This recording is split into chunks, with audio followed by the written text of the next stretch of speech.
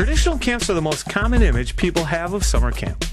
These camps offer fun activities during the day, combined with traditional camp songs and games at night. Campers generally stay for one to eight week sessions. Specialty camps are more focused, providing campers a chance to immerse themselves in a particular activity such as sports, music, or arts. These camps tend to run shorter sessions and require highly qualified and knowledgeable staff.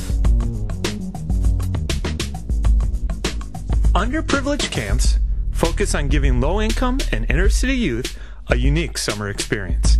These camps often teach life skills as well as traditional camp activities.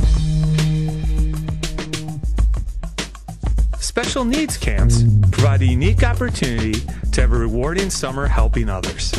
Camps of this type make it possible for people with physical or mental disabilities to share in the camp experience.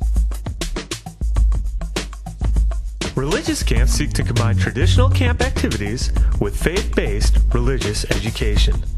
Many times, participants with a strong religious belief system will have the opportunity to lead devotionals and teach Bible or Torah studies. Camps for people with specific requirements have campers with medical conditions such as diabetes, eating disorders, and hearing or sight impairments, among others.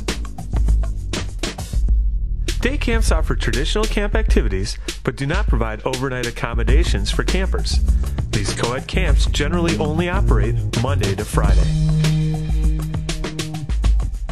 Girl Scout camps follow the philosophies of the Girl Scouts and Guides but scouting experience is not necessary to be a staff member.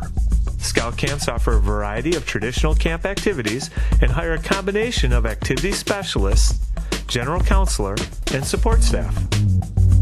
On your CCUSA application, you will need to choose at least four of these camp types for a counselor position and five for support staff. Regardless of what camp types you choose, it is your positive attitude and enthusiasm that will make this the best summer of your life.